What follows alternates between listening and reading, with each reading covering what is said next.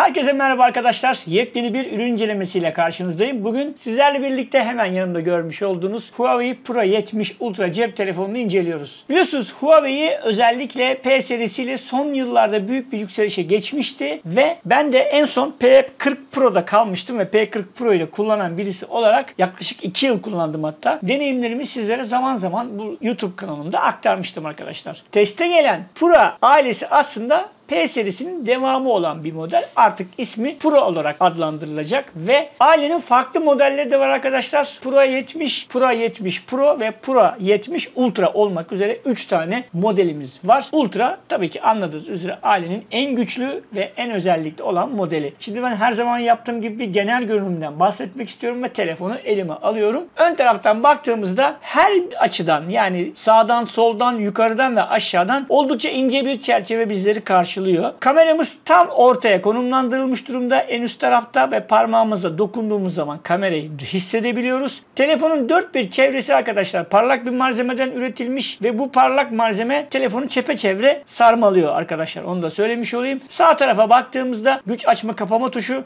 Onun hemen üst kısmında ses açma kapama tuşumuz var. Üst kısmında böyle sadece mikrofon deliklerini vesaireyi görebiliyoruz. Sol tarafa baktığımızda herhangi bir yuva vesaire yok. Alt kısımda sim kart yuvamız var ve hoparlör hoparlör delikleri, mikrofon deliği ve tip C bağlantı yuvası var. Üst kısmında da bir şey olmadığını zaten söylemiştim. Şimdi telefonun asıl yeniliği arka tarafta arkadaşlar. Arka tarafta bizleri play tuşuna bu özellikle böyle müzik çalarlarda falan vardır şöyle bir üçgen şeklinde sağa ya da sola doğru gösterir. Play tuşları vardır çalma tuşu. Ona benzeyen bir tasarım bizleri karşılıyor. Oldukça büyük ve devasa bir ana kameramız var. Onun hemen sol üst kısmında diğer kamera ve onun hemen sol alt kısmında da üçüncü kameramız bulunuyor. X imaj yazısı var ki bununla ilgili detayları kamera tarafından anlatacağım. Onun hemen yanında da bir led lambamız var. Arka tarafta dokulu bir yüzey bizleri karşılıyor. Yine kutusundan çok güzel bir kılıf çıkıyor arkadaşlar. Bu kılıfla birlikte çok daha güzel bir şekilde kullanabiliyorsunuz. Estetik bir kılıf bu arada onu da söyleyeyim. Şöyle güzel bir kılıf. Bununla ilgili bir eleştiri de geldi bana. Bunu paylaştım ben daha önce sosyal medya hesaplarımda ve arkadaşlarım, beni tanıyan arkadaşlarım ve muhabbetimiz olanlar işte e, onun telefonu yan taraflarını korumayacağını söyledi. Tamam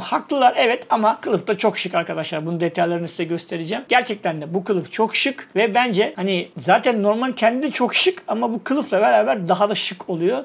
Hani böyle ucuz bir şey kullanılmamış. Malum kutulardan hani şeffaf bir silikon kılıf çıkıyor. Bu bence çok güzel olmuş. Ben çok beğendim bu kılıfı. Onu da altına özellikle çizeyim. Bunun dışında fiziksel özellik olarak farklı bir özelliğin olmadığını da belirteyim. Gelelim Huawei Pro 70 Ultra'nın teknik özelliklerine arkadaşlar. Telefonumuz 6.8 inçlik OLED bir ekrana sahip. 2844 x 1260 piksel ekranımız. 120 Hz ekran yenileme hızımız var. Kirin 9010 işlemci. MIUI 14.2 arayüzümüz var. 16 GB RAM, 5 512 GB depolama alanımız var. 50, 40 ve 50 olmak üzere üçlü ana kameramız. 13 megapiksellik bir ön kameramız. Her iki kamerada 4K 60 fps video kayıt yapabiliyor. 5200 mAh'lik pil. 100 Watt kablolu, 80 Watt kablosuz. 80 Watt gerçekten de bunu not alın bir kenara. IP68 suya ve toza dayanıklılık, çift sim kart desteğimiz, Bluetooth 5.2 ve kız ötesi sensörümüzün olduğunda söyleyeyim arkadaşlar. Şimdi gelelim telefonun kullanım deneyimine. Bu telefonda Kirin 9010 işlemci kullanılmış biliyorsunuz arkadaşlar ve bu işlemci Huawei tarafından geliştirilen bir işlemci. 7 nanometre teknolojisini kullanıyor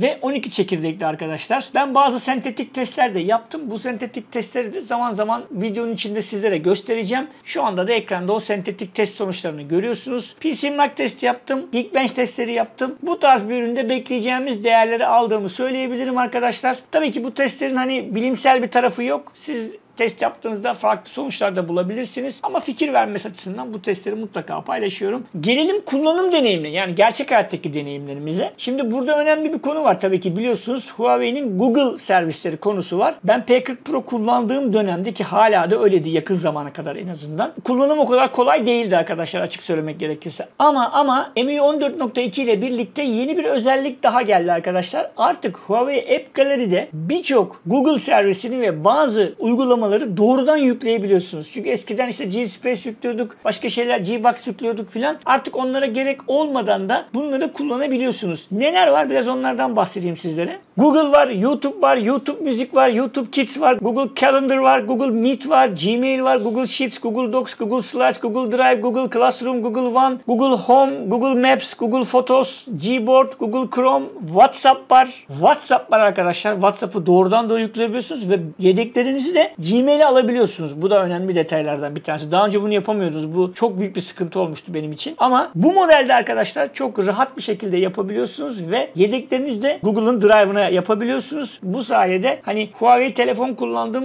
WhatsApp yedeğim ne olacak sorunu da ortadan kalkmış oluyor arkadaşlar. Facebook var, Messenger var, Instagram var. Bu tip uygulamaların hepsini doğrudan doğruya Huawei App Gallery'den yükleyebiliyorsunuz arkadaşlar. Ek olarak Discord var, Reddit var, Spotify var, Twitter yani şimdiki adıyla X de var. App Gallery üzerinden bu uygulamaların tamamını yükleyebiliyorsunuz. Bence bu çok güzel olmuş. Uğraşmıyorsunuz. Eski telefonu olanlar da bu MIUI 14.2'yi bir kontrol etsinler. Muhtemelen önümüzdeki aylarda eski telefonu olanlara da yani Huawei'nin eski modellerini kullananlara da gelecektir. Onlar da rahat bir şekilde kullanmaya başlayacaklar. Onu da altını çizeyim. Şimdi gelelim kamera konusuna. Huawei Pro 70 Ultra DxO Mark'ta arkadaşlar bugüne kadar alınmış en yüksek puanı aldı. Bu anlamda telefon gerçekten de çok başarılı. Yani kamera tarafını ben çok biliyorsunuz kurcalamayı seviyorum ve uzmanlık alanında aslında kamera ve teknolojileri. Gerçekten de çok güzel bir kamerası var. Kamerası böyle bir mekanik bir açılış sesiyle böyle ultrasonik bir ses çıkıyor. Yapıyor. Hatta onu dinleteyim şimdi size.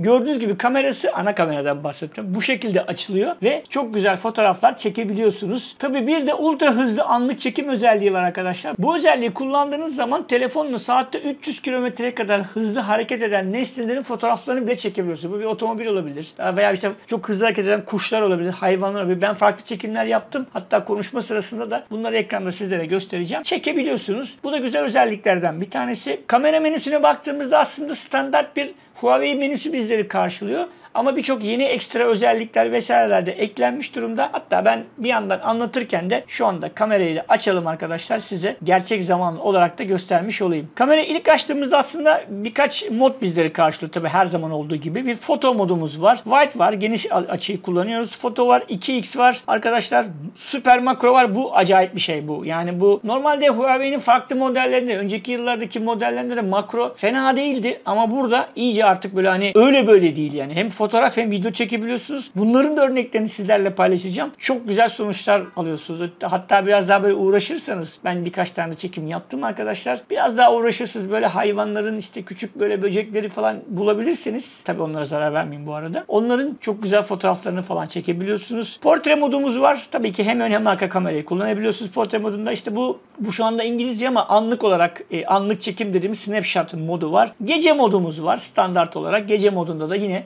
çekimler yapabiliyoruz.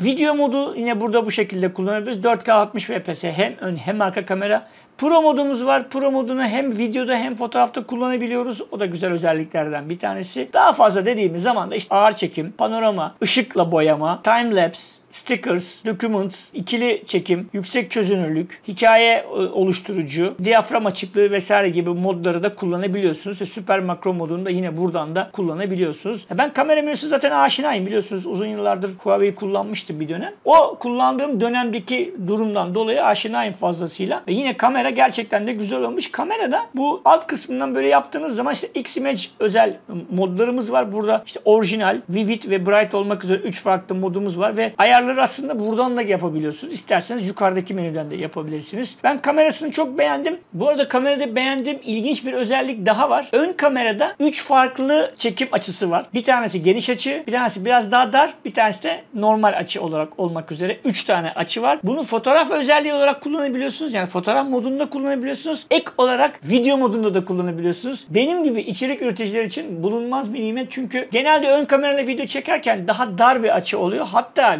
bu dar açı videoda daha da daralıyor. Çünkü birçok cep telefonu amiral gemisi bile olsa arkadaşlar video çekerken ön kameradan bahsediyorum. Daha dar bir açı sunuyor size. Ama bu modelde çok geniş bir ön kamera açısı var ve hem videoda hem fotoğrafta kullanabiliyorsunuz. Herhangi bir şekilde açı daraltması yapmıyor video modunda bile. Bunu da çok beğendim. Hatta bu benim kişisel yorumum arkadaşlar. Belki sizin için çok önemli olmayabilir ama benim için çok önemli olduğu için bunun altını özellikle çizmek istedim. Şimdi gelin Huawei Pro 70 Ultra ile çektiğim örnek fotoğraf ve videoları bir izleyelim. Daha sonra incelemeye devam edeceğiz.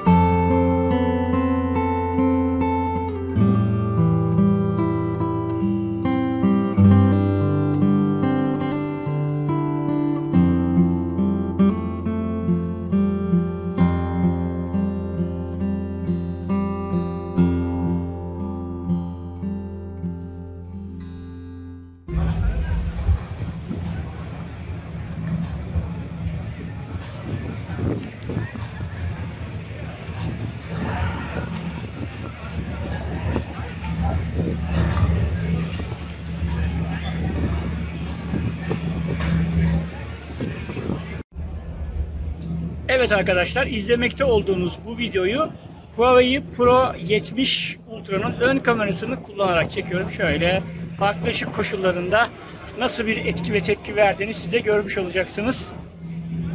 Gördüğünüz gibi 4K 60 fps video kayıt yapabiliyor. Hem ön hem arka kamera.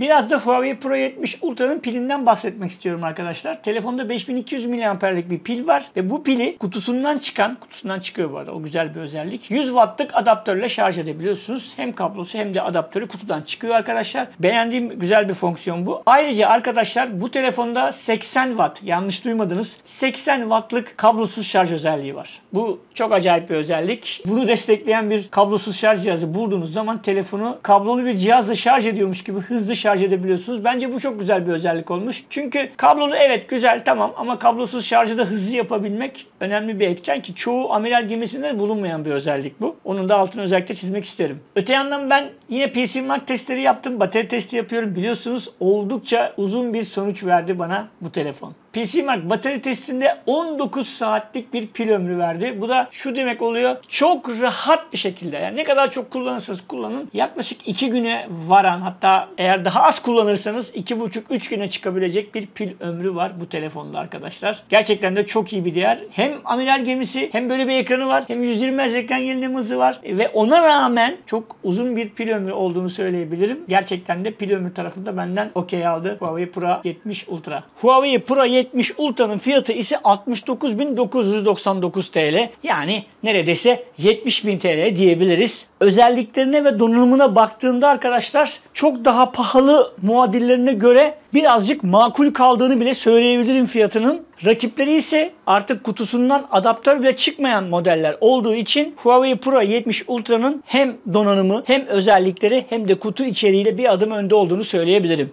Huawei Pro serisiyle artık yepyeni bir dönemi başlatıyor. Daha önce P olarak isimlendirilen seri artık Pro olarak yoluna devam edecek. Ultra'da gerçekten de çok güzel bir telefon olmuş. Gerek ekranı olsun gerekse diğer özellikler açısından benden tam puan aldı arkadaşlar. Üst düzey bir amiral gemisi arayanlara da önerebileceğim bir cep telefonu olmuş Huawei Pro 70 Ultra. Bu modelle ilgili benim anlatmayı unuttum. Sizin merak ettiğiniz konular mutlaka vardır. Yorumlarda paylaşmaktan çekinmeyin arkadaşlar. Hepsini okuyorum. Hepsini elimden geldiğince değerlendiriyorum. Eh ben bu kadar emek verirken sizden de küçük bir ricam var. Kanala abone olmanızı istiyorum. Kanala abone olarak bu tarz videoların sayısını arttırabileceğiniz gibi ve bu abone sayısı ve izlenme ile birlikte markalara karşı daha böyle dik durabileceğim gibi. Aynı zamanda sizlere de daha güzel ve daha kaliteli içerikler konusunda beni motive ediyor bu abone sayısının artmış olması ve izlenmelerinin artmış olması. Bu konuda desteklerinizi bekliyorum. Beni sosyal medya hesaplarımdan takip etmeyi de unutmayın. Bütün sosyal medya hesaplarımın linkleri açıklamada bulunuyor. Tek bir tıkla beni oralardan da takip ederseniz sevinirim. Farklı bir inceleme videosunda karşınızda olmak üzere. Hoşçakalın. Kendinize iyi bakın.